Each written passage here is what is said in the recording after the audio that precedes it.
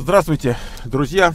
Мы начинаем ответы на вопросы по дороге в Сан-Франциско. Путь наш дальний, долгий. И у нас Светлана зачитывает вопрос. Свет, давай. Да. Мне 23 года, живу уже полтора года в Америке, Myrtle Beach. Ага. Санта-Крус, что ли? Нет, нет, Myrtle Beach это на том побережье, курортное А, местечко. SC, я не знаю, Э, что э, м, South Carolina. А, Саус Каролайна. Мгм. Родился в Беларуси. Год назад я подал на политическое убежище. Полгода назад получил Employment Authorization Card. Да. Сейчас жду собеседования. По отзывам слышал, что это примерно занимает 2-3 года сейчас. На грин-карту по моему делу. Я программист. В общей- Почему грин-карту, не понял?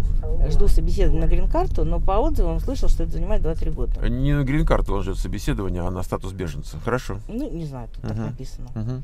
Я программист. В общей сложности имею четырехлетний опыт работы, и почти все эти годы я был фрилансером. На данном этапе я владею достаточно широким диапазоном знаний в данной профессии. Он перечисляет, это можно не Ну, зачитывать? перечисли, перечисли. Ничего. это- Многие люди, которые нас слушают, понимают, о чем речь. Перечисли. Языки C++, Java, Objective-C, Swift, JavaScript, немного Python, C, такая решеточка, Sharp, C-Sharp. C снова, Objective C++, IDE, Qt, Microsoft VS, Xcode, Android Studio. Работал с разными операционными системами. VC, да. А, Virtual Studio, окей, да. Мгм. Да, с Да. разными операционными системами. Mac, Windows, Linux, Android, iOS. Работал над дизайном предлож- приложений и с интернет-сервисами, и с десктоп-кроссплатформенными решениями. Мгм. Однако я не могу найти работу в США.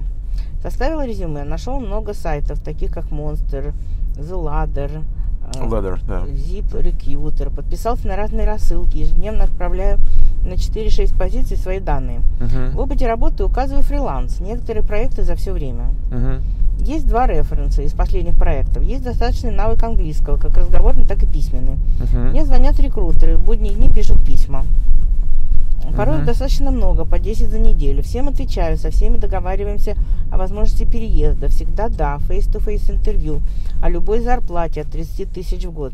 Чуть ли не на любую позицию. Большинство заканчивается договоренностью о том, что именно они будут меня представлять компании X. Мгм. Иногда просто э, выслать резюм- э, письмо подтверждения. Э, Вопросом, все ли устраивает, и просьбу подождать ответа от компании. Мгм. Однако всего один-два из них ответили мне спустя неделю, что компания отказалась и не указала причины. Мгм. Остальные попросту пропадают. Занимаюсь я поиском уже три месяца, и по большому счету ничего не меняется. Я даже до этапа с интервью не дошел ни разу. Ни по скайпу, ни face-to-face. Мгм. То есть, по факту, мою компетентность даже никто толком не пытался проверить. Всегда только базовые вопросы о визе, об опыте, о референсах, о ожидаемой зарплате, о моем опыте, что использовал, на чем работал и прочее. Мгм. Вроде по письму все складно, должно быть все хорошо, однако это не так. И я не могу разобраться, в чем моя проблема. В резюме э, статусе pending employment card, опыте работы... Что, что, пендинг? Ну, Вот непонятно, в резюме, запятая, статусе pending, запятая, employment card, запятая, опыте работы или references, какое-то предложение закончено, непонятно. Работал всегда один, команды нету. Как следствие, и знакомых, которые могли бы подсказать что-либо по трудоустройству. Фриланс, как ни крути, не самый большой заработок. Зарабатываю не больше фулл-тайм официанта в США. Ага. А, но продолжаю работать программистом и расти, так как пока текущая зарплата позволяет. Быть может, мне рано работу в США искать, но я даже не джуниор и, и не мид согласен. На, на джуниор и ну, intermediate level согласен. Да. Главное, это новая работа, связи, хоть немного выше зарплаты и возможный переезд. А дальше уже разберусь, куда и когда двигаться дальше. Подытожу обобщающие вопросы. Как вы считаете, чего мне именно не хватает или что я делаю не так? Каким образом лучше искать работу и куда отправлять свое резюме? Давай я немножко скажу. а Давай, потом Светик, давай, я очень хочу, чтобы ты высказал. Я небольшой эксперт вот так вот в анализировании чужих резюме, но то, Так что... резюме и нету, чего Ну да, да, но то, что мне бросается в глаза, это какое-то несоответствие человека, который э, имеет довольно-таки большой опыт, ну, по пе- перечисленному, я не знаю, что это значит, эти слова, но, видимо, там, наверное, серьезно какие-то знания, и того, что он просит. То есть дело в том, что... 30 тысяч. Да, в этой Мгм. стране нельзя не соответствовать своему уровню. Тебя точно так же не возьмут на работу, э, как если ты завышаешь свои требования, но и точно так же тебя никто не возьмет, если ты занижаешь, потому что компания понимает, что как только ты вот устроишься, обустроишься, будешь крутить носом, найдешь следующую работу и уйдешь от них. И никто не хочет вас инвестировать, вкладывать деньги, переезд заплачивать и так далее. Поэтому э, нужно составить резюме таким образом, чтобы было соответствие требований по зарплате уровню квалификации. Это первое. Второе. А, раз у вас есть право на работу, не нужно давать лишних а, поводов там в чем-то сомневаться или задавать дополнительные вопросы. А, надо написать employment authorized и все. И если они хотят, они пусть могут проверять и так далее. Дело в том, что вы еще ни разу не выходили на какую-то реальную компанию. Если там какой-то пендинг, это пугает людей. Да. да. То есть э, это возникают дополнительные вопросы, и никому это не нужно. Но э, вы еще ни разу не вышли на какую компанию конкретно. Вы разговариваете только с рекрутерами. На самом деле можно заполнять... Э, документы на сайтах компании и аппликация просто в сами компании.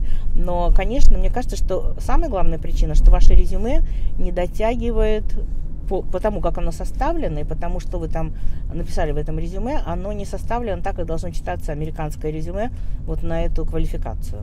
И я думаю, что это главная причина, почему компании не хотят с вами разговаривать. Ну, давай я, значит, Теперь ты со своей колокольни. Да. Значит, э, первое, конечно, для того, чтобы всерьез говорить, ну так вот, ближе к делу, надо, конечно, видеть резюме. Потому что говорить, вот я все делаю правильно, а у меня не получается, в чем причина? Знаешь, ну если ты сказал, что правильно, так а где же не найдешь? И видишь, он в конце спрашивает, куда еще повесить резюме? То есть смотри, у него резюме это не работает. Ну да, резюме не работает. Резюме да. не работает. Значит, да. вопрос у него при этом не, не такой, что сделать с моим резюме, а у него вопрос такой, где еще его повесить. Да, куда не вешай. Куда не вешай, да. Понимаешь, поэтому э, меня с самого начала на самом деле напрягали некоторые вещи.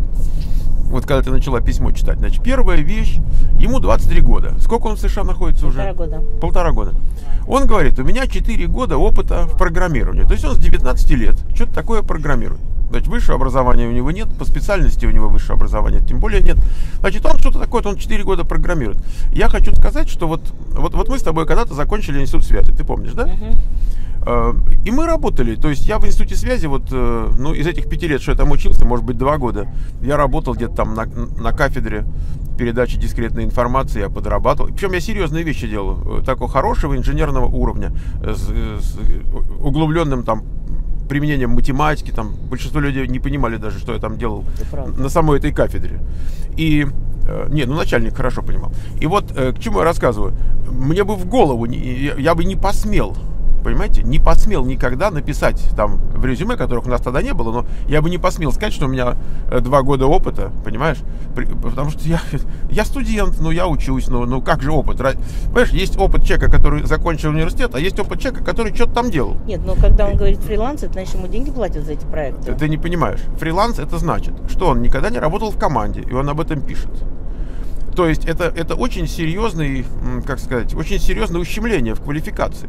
То есть одно дело у тебя 10 лет опыта, и ты ушел во фриланс. Это одна, э, одно. Ты состоявшийся профессионал, и ты ушел во фриланс.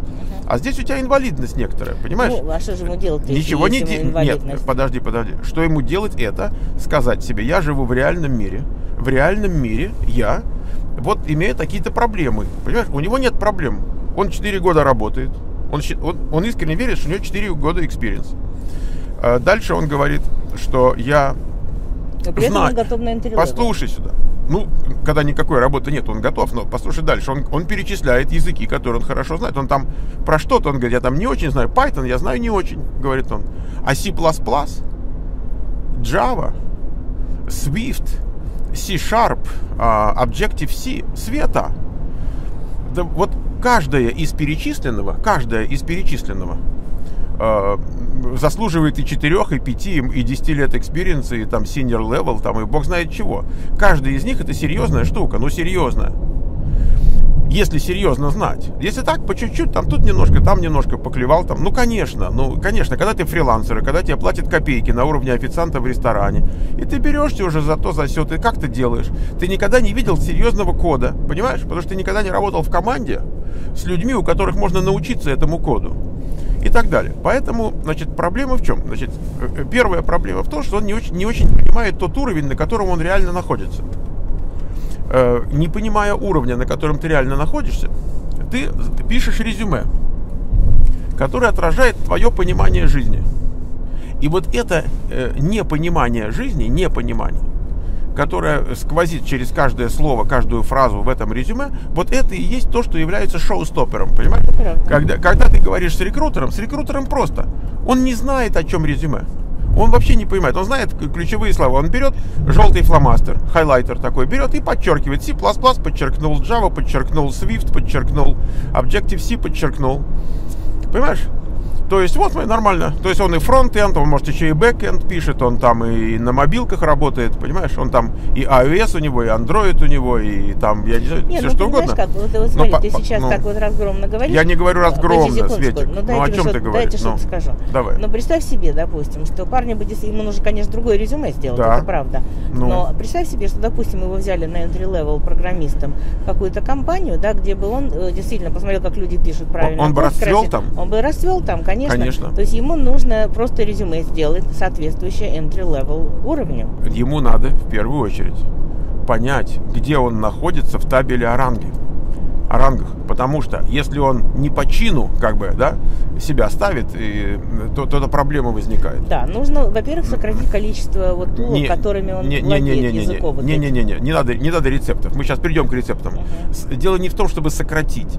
А, дело в том, чтобы правильно себя спозиционировать. Вот ровно с тем экспириенсом, опытом, который у него есть, его бы порвали на части. Понимаешь? 23 года. Uh-huh. Молодой парень. Уже 4 года что-то там делает так или сяк. Там uh-huh. у него уже ширина, широта есть да, в, обозрении. Он уже и с мобилками, да. там, и с вебовскими.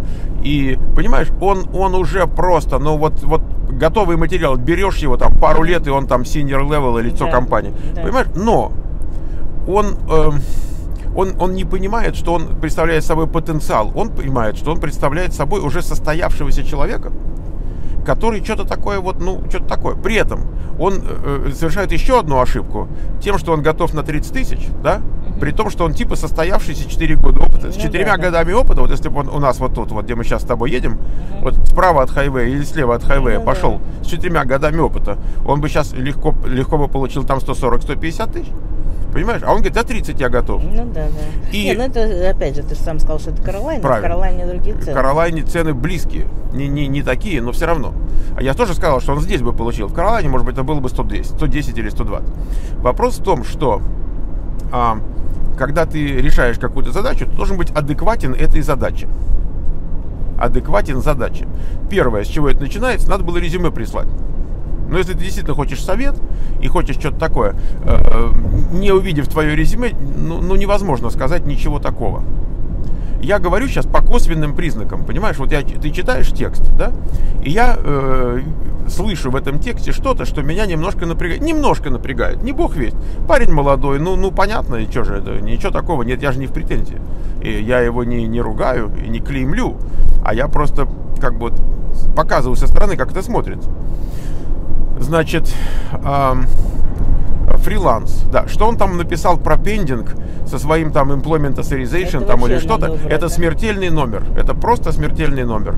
Э, человек берет в руки, а сейчас что тенденции такие, да, вот сейчас э, в они стране. вообще не понимают, что это такое. Не... Pending authorization, что это они. Я, не я не знаю, да. что он им написал, но это не то, что люди хотят увидеть Конечно, абсолютно. Да. Э, вот. Э, я не знаю, что он еще там написал.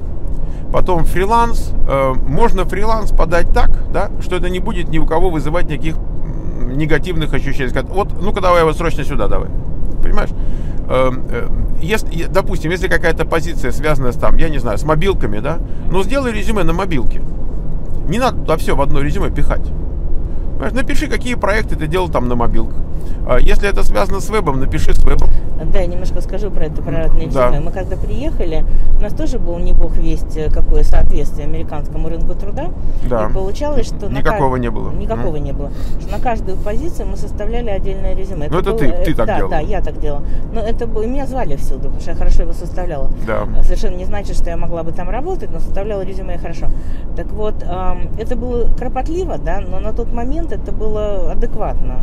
И, может быть, вот поначалу у вас действительно такое широкие знания, может быть, они не очень глубокие, по очень многим э, ну, а, профилям, да, или как, направлениям. Ну, да, направлениям. Вот, но конечно, нужно сосредоточиться и сделать по каждому из этих направлений отдельное резюме, тогда оно будет более фокусным и будет бить в точку. Вот если компании нужен такой специалист, она скажет, о, вот это оно и есть, потому что э, специалисты широкого в профиле здесь не катят, здесь катят узкие специалисты, но профессионалы. Э, широкого тоже неплохо, но, но зависит от ситуации. Но, в принципе, они любят нанимать, вот, понимаете, вот этот лозунг «нанимай, э, нанимай характер», да, и учи его навыкам, здесь, здесь не очень работает. Здесь они хотят нанимать навыки. Вот так получается. А чтобы характер хороший был при этом, иначе выгонят тут же. Верно. Но, но еще раз, никто не хочет иметь дело с чем-то неадекватным. Да. Поэтому нельзя выглядеть неадекватным. Какие бы у вас ни были соображения в пользу того, что э, вот это лучше сделать, чем не сделать, если это выставляет вас неадекватным человеком, не нужно этого делать. Не нужно, потому что вас никто даже не будет спрашивать. Я часто вижу человек говорит, а вот они меня когда спросят, я им говорю, а что? Он говорит, вот меня спросят, и я им скажу, за тебя не спросит никто. С тобой просто не станут разговаривать. Спросят его, он, он им будет сейчас объяснять. Он уже себе картину нарисовал, понимаешь? А ту картину, что с ним говорить не хотят, он не рисовал. Поэтому надо, конечно, дать резюме кому-то посмотреть. Ну, я не знаю, ну дайте мне посмотреть, что такого. Я, в конце концов, я могу посмотреть резюме, раз мы уже отвечаем на вопрос. Но может быть, сделать несколько разных резюме. То есть я бы сделал несколько разных. И э, я подозреваю, слышите, что он пугает народ не тем, что у него слишком много технического, а тем, что не соответствует. А тем, что он вот этим фрилансом, а, вот этим 30 тысячами, да. а, а вот этими, подожди, подожди, поймешь, вот это, это pending да. authorization, то, что там какие-то странные вещи, нельзя выглядеть неадекватным.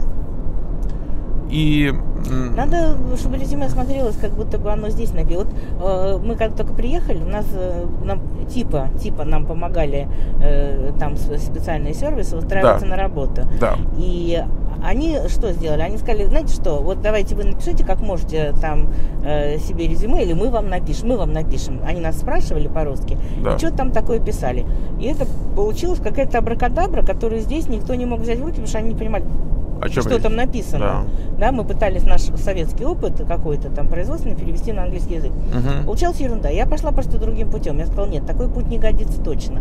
Мне нужно найти фразы, которыми я могу описать свой советский опыт, но фразы, которыми они оперируют здесь. А это 91 год? А это 91 год. Ни интернета, ничего нету. Я запрашивала в компании uh, job description, в котором написано, чего они хотят. И из этих фраз, которыми они описывали то, что они хотят, составила себе резюме из того, что я делала.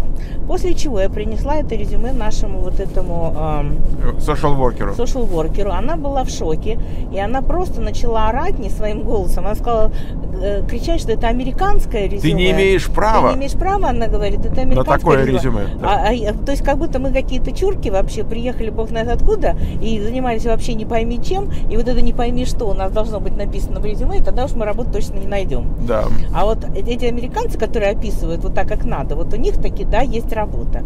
Пошуруйте на интернете, посмотрите чужие Светик, резюме. Светик, послушай, ну примеры, послушай, да. чего шуровать на интернете? У нас есть сайт портнов.ком портнов.ком, школьный сайт. целая куча. Там, там вывешено... Там по, по QA, наверное, только больше. По 25 профессиям. Там вывешено э, по 14, по 15, по 16 резюме в каждой профессии. Значит, если посмотреть на, на, на веб-сайт, на, на главную страничку, на любую. Там есть футер, и в футере э, справа в углу, справа в нижнем углу, там написано ресурсы, ресурсы. И там среди ресурсов написано э, QA Resume Collection. Но она на самом деле не QA, а в этой коллекции 25 разных профессий. Пожалуйста, вот тебе э, там написано будет теми словами. Но может быть, может быть и, и, не, и не то проблема, что он опыт плохо описал. Может быть, проблема в том, я думаю, что никто бы не цеплялся к описанию опыта. Я думаю, там есть что-то отталкивающее на очень глубинном уровне, понимаешь? что несмотря просто. на опыт, несмотря да. на, на все эти вот там проекты, несмотря на перечень там навыков и так далее, ему даже никто не позвонил из компании, понимаешь? Да. То, что ему не позвонили даже вообще поговорить и спросить, может быть, спросили бы что-то, а, а реально они даже и не звонят вот, вот тут как бы и, и, и зарыто. То есть что-то фундаментально, глубоко отталкивающее там должно быть. Да. Это в сегодняшнем рынке, в котором не хватает людей чудовищно. Да. Понимаешь? Э, ну, я могу, конечно, сказать, что у нас есть вебинары, у нас есть список, э, в смысле, плейлист есть э, с вебинарами. Э, один, по-моему, так и называется вебинары на нашем канале, другой называется поиск работы в США. И мы там разбираем и про резюме, и, и так далее. И у нас есть вот этот portnov.com slash ru, э, это он, курс я начитывал по тестированию. Последние два занятия в этом курсе. Одно про резюме, а другое про cover letter. И там с ресурсами, со ссылками, с, с подробным разбором там, и так далее. Ну, что пишет, у него не у кого спросить. Ну вот, вот. Ну вот он нас да, спросил, да, ну что да. Значит, у нас полно ресурсов. Но, но чтобы нас спрашивать, да. все-таки неплохо было бы резюме, конечно, ссылочку дать. Там прислал бы резюме, я бы глянул. Вот. А, э, проще всего в скайпе мне написать, там на М Портнов, да, М Портнов написать в скайпе и сказать, вот ссылка на резюме, посмотрите, там я ему тут же, тут же бы я ответил. Если нужно перезвонить и сказать словами, я перезвоню. Хотя я предпочитаю говорить, э, в смысле, общаться письменным текстом, что занимает в 20 раз меньше времени. Но бывает, что надо позвонить, я позвоню и скажу словами, я понимаю, что мне проще сказать, чем, допустим, там описывать долго и так далее. Поэтому самое главное в этом во всем, вот, Света, скажи, если ты со мной сейчас согласишься, самое главное в этом во всем, это не пытаться неработающую методу э, довести до работающего состояния путем просто повтора. Тиражирование. Тиражирование, ну, конечно, да. да. То, то, что не, не работает, Нет, не надо если тиражировать. не работает, оно уже понятно, что не работает. То есть вот все ваши трехмесячные усилия, если вам ни разу не перезвонили из компании, да. значит, не в порядке резюме. То есть это однозначно совершенно.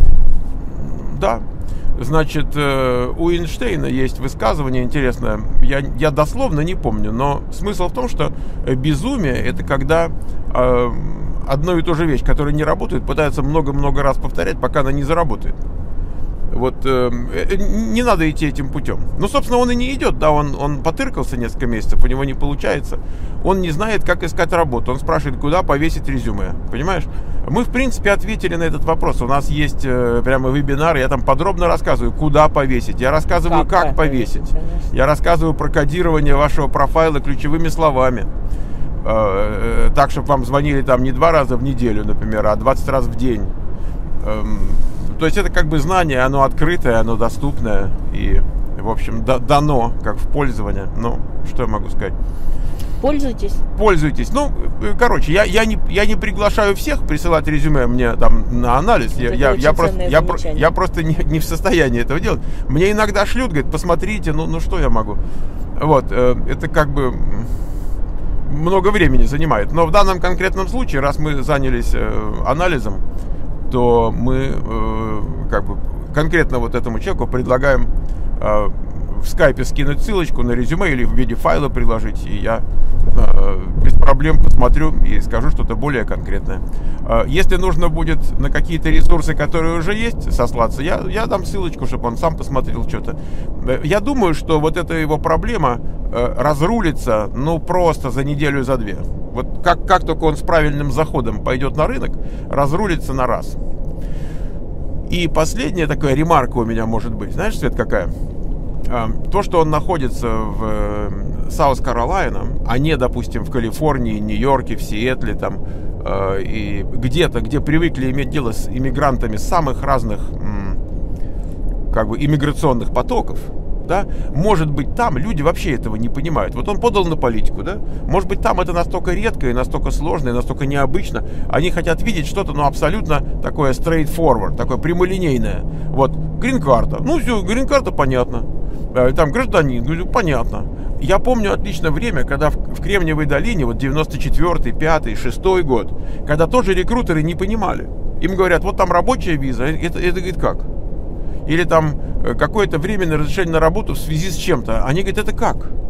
Э, студенческие визы. Никто не знал там про эти разрешения на работу, которые идут со студенческими визами. Это, это... Важно, что есть разрешение на работу и все, остальные э, нюансы никого Важно, что люди понимают, о чем речь. 20 лет назад, вот Кремниевая долина, 20 лет назад, Human Resources, вот все эти люди, они, они все выучили, о чем идет речь, да, и вопрос снялся. Вот последние 20 лет никто, никто не выясняет тонкости, потому что все понимают сразу, с полуслова.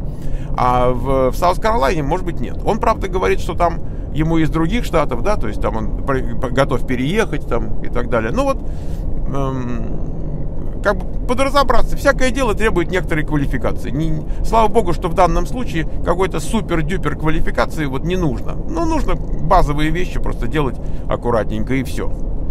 Э, в таком рынке, как сейчас, когда просто на части рвут людей, которые хоть что-то могут. Вот, так э, дай бог, чтобы всегда такой рынок был, и чтобы, чтобы всем так повезло. Ну что, счастливый, и давайте мы молодому человеку пожелаем успехов, чтобы все у него получилось. Я, скорее, даже выражу уверенность в том, что у него все прекрасно получится. Чуть-чуть, чуть-чуть вот там подправиться и все. Счастливо.